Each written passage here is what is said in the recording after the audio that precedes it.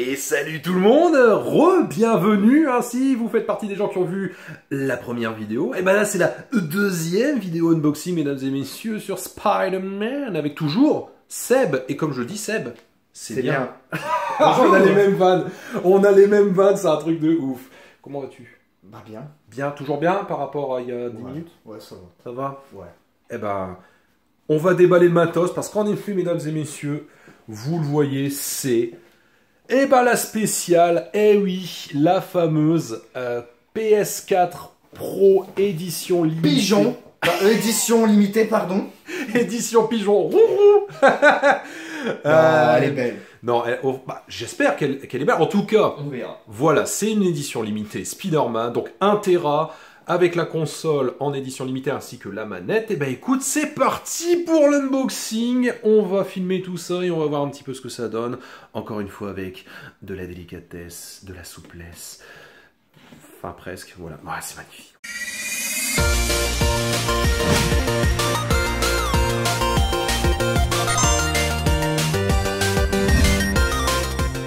Je vais essayer doucement parce que pour ceux qui adorent les unboxings propres, ils vont me dire. Ah déjà, il y a des gens qui diraient euh, faut mettre des gants, on sait jamais. hein. Ouais, les gants de velours là parce que j'ai peur de faire une tache sur le carton. Ah, la, la fameuse tache pistache.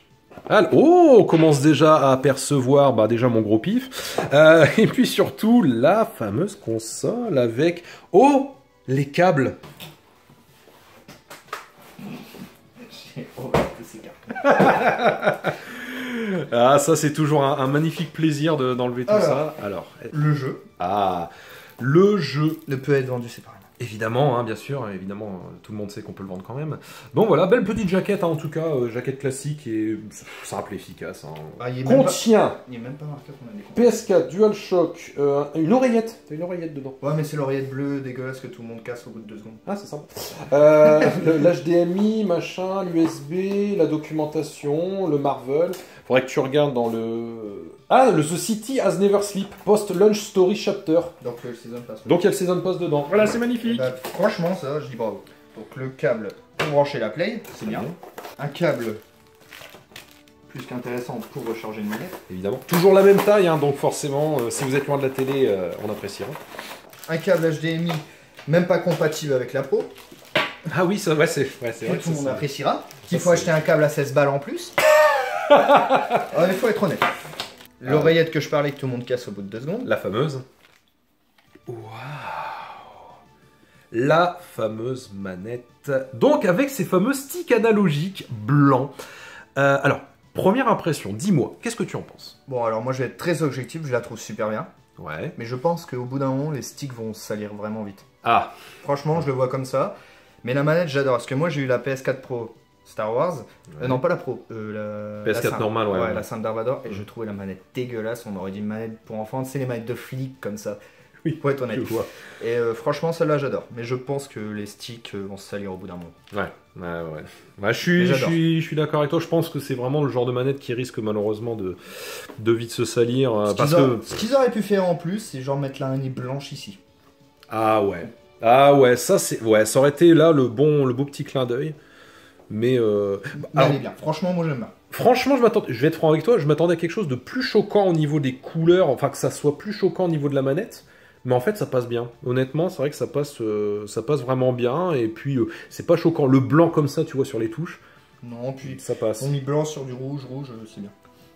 Non, je m'attendais à pire que ça, honnêtement. Franchement, je m'attendais à pire que ça au niveau du rendu de la manette. Mais ça va. Non, est sur franchement, quelque elle est chose De, de bien. Bon, c'est déjà un bon point. On va déballer la, la plus grosse. Ah, on déballe. Non. Je parle, je parle pas de ma femme. oh là là. Oh mon dieu. Je suis choqué. Je m'en vais. Je m'en vais. Je vais pas y aller. Les traces de doigts. Oh putain, oui, les traces de doigts, ça va, ça va fuser. Non, c'est du mat. Euh, Enfin, c'est du bris. Ah, c'est du bris. Oh là Bah, là moi, là là. j'adore, mais c'est les traces de doigts, ça va partir. Eh ben voilà, mesdames. Oh, putain, elle est quand même belle. Honnêtement, elle est belle. Alors, hop. Trace de doigts. Ça fait trop plaisir. Sérieux, il y en a déjà, non? Ouais, mais regarde ici. Non. Ah merde. ici, là. Putain, ouais. Ah, ouais. Ah, mais ça, c'est ça, c'est le problème de ces consoles-là. Par contre, Je suis amoureux. on va pas se mentir, mais euh, ah ouais, c'est. Elle, elle a vraiment de la gueule. Honnêtement, elle a vraiment de la gueule. Elle fait mal. Première impression, vas-y, dis-moi. Je vais verser une larme, je pense. Ah, franchement, elle est bien. Une petite larmichette sur cette console. Franchement, elle tue. Ah ouais, là, honnêtement. euh, Je vais voir, donc si je dis pas de bêtises.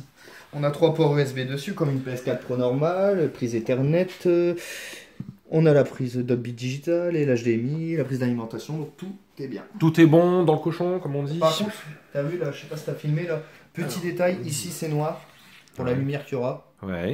Donc ça c'est bien, le blanc, le rouge. Derrière la PS4 Pro, pour ceux qui savent pas, on a la mousse euh, des touches, c'est Ouais. noir. Très bien. Logo PlayStation et tout pour pas oublier que c'est Sony. Et là, on est sur un revêtement mat, hein, ici. Juste derrière, vraiment, euh, revêtement mat. Bah, franchement, je préfère le brillant que le mat. Ouais. Ça donne. Ça, ça te choque pas, quoi. Pour toi, ça, ça te va. C'est Ah, c'est beau comme ça, quoi. Franchement, je trouve ça bien. Par contre, l'araignée, il fait chier. J'aurais pu la mettre à l'endroit. Alors oui, alors ça, par contre, ouais, j'avoue que. Franchement, ça, ça m'emmerde, ça. J'ai envie de. que.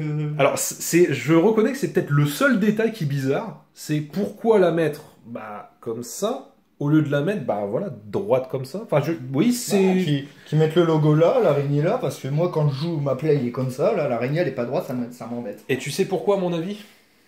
Parce qu'en fait, je pense que les gens, euh, et peut-être les gens de chez Sony d'Insomnia, qui se sont dit, ils vont la mettre debout. Donc, en la mettant comme ça, avec le logo Mais ça revient. bien en face. Ça, ça revient même de la mettre debout. Bah, si tu la mets debout, elle va être dans le bon sens. Non, parce que si tu la mets debout comme ça, parce que normalement, le CD, tu le mets devant toi, donc debout, donc là, tu la verras pas. Bah si, mais tu vois, la- la- la- l'araignée, elle est dans le bon sens. J'ai raison. Ah, t'as raison. Ah, oh, mon dieu. Ah, putain, comment je me fais remballer, hein, vous avez vu, franchement, ça- c'est impressionnant. hein. Non, c'est vrai, mais c'est chiant, putain. Non, mais je, te, je comprends ce que tu veux dire. C'est moi une vrai que- je la mets pas debout parce que tout simplement, j'ai peur qu'elle tombe. Trace de doigt. Ah là, ça c'est... Moi ça c'est ma, c'est ma hantise absolue. Les traces de doigts sur une console, je, ouais, de loin, je la vois là, tous mes doigts. je vais, je vais être franc avec vous, moi c'est... Les traces de doigts c'est une catastrophe. Mais bon, on est tous un peu comme ça. hein. Mais de toute façon après elle va être dans le meuble et puis on n'y touchera plus. Quoi. Bah si, joue avec moi. Tu joues avec? Tu, tu mets, tes, tu mets tes petites mimines dessus? Tu fais des choses, euh, des choses coquines avec? Précisons qu'elle a un Tera et pas deux. Oui, très important, c'est la seule 2 Tera, là pour l'instant c'est vraiment la PS4 500 millions. Bon bah écoute, euh, bah franchement, euh, qu'en penses-tu? Voilà, c'est ton achat, dis-moi ce que tu en penses, est-ce que tu es satisfait Bah franchement, je vais dire honnêtement ce que je pense. Mm. Ça vaut 500 euros. On a le jeu, on a le Season Pass. Mhm. On a une manette c'est spéciale qui est pas mal, les câbles, Ouais. heureusement. Bah moi je trouve que c'est un achat encore plus utile que le collector, parce que je dis pas que les collecteurs c'est inutile vu ce que j'ai. Mhm. Euh, mais moi franchement je trouve euh, ça une PlayStation 4 ça sert, on l'utilise, on a le jeu, tandis que le collector on le met de côté, je trouve 160 euros pour, euh, pour la qualité, je trouvais ça beaucoup trop cher. D'accord, Tandis que ça moi franchement je suis satisfait. Ouais. Zéro déception. zéro déception. Eh ben écoute, nickel. Moi de mon côté, je trouve la console vraiment jolie. Je, je m'attendais peut-être à un rendu un peu, tu vois, un, un peu trop plastoc, un peu trop plastique, un peu trop joué. Euh, là, on est sur quelque chose qui finalement passe bien. Euh, bon, ah, évidemment, comme on l'a dit, il faut bien sûr aimer le côté brillant de euh, la surface haute de la, machine, avec le logo qui, certes, si vous la mettez à plat, ça aurait été bien de le mettre de l'autre côté, le logo. Bon, ça, c'est un, détail parmi tant d'autres. La manette, je vous dis, je m'attendais pas à ça, parce que franchement, la manette, honnêtement, elle rend vraiment bien. On a l'impression que non, mais ça passe. Je m'attendais vraiment à pire que ça, et pourtant, bah, je trouve que le blanc ne choque pas sur la manette. Après, si vous voulez acheter la manette à part, elle sera sûrement disponible comme toutes les manettes à 60 euros, 65 euros dans tous les commerces. Ouais, je, je pense, hein, je pense que ça, ça, de- ça devrait arriver à un moment donné. War, la Star Wars, euh, la... bah, toutes les manettes quoi. Ouais, je, je pense que devrait pas y avoir trop de soucis là-dessus. Donc, euh, donc voilà. Après, c'est là clairement, c'est le, c'est le fan qui va parler. C'est le fan qui va parler, qui va se dire, punaise, on a encore une fois, c'est ce qu'on disait dans la précédente vidéo, euh, des trucs collector Spider-Man dans le jeu vidéo, il y en a pas des Et masses. surtout exclusif à la console. Exclusif à la machine en plus, avec donc. euh, Voilà, c'est ça, tu là, vois. quoi. Vraiment quelque chose qui est exclusif à la machine, quelque chose qui va faire que tu as vraiment un- une édition limitée. Euh, ouais, c'est, ça court pas les rues, donc c'est sûr que du coup, pour le fan, bah, c'est un plus, très clairement. Surtout, j'ai pas joué un jeu de Spider-Man depuis le 2 parce que le 3 je l'avais fait. Bah, le Spider-Man 3 qui était en rapport au film qui était immonde. je confirme, c'était pas euh, terrible. Pour moi, mon dernier Spider-Man c'était le 2. Donc bah là, ça sera bien le moment de voir un petit peu ce que ça va donner, c'est cool. Eh ben écoute, merci beaucoup pour ce magnifique unboxing en ma compagnie. Puis bah mes gens, si vous avez aimé, n'hésitez pas encore une fois à partager la vidéo, laissez plein de pouces dessus. Encore une fois, c'est bien pour le référencement et ça aide à développer la chaîne. Merci beaucoup.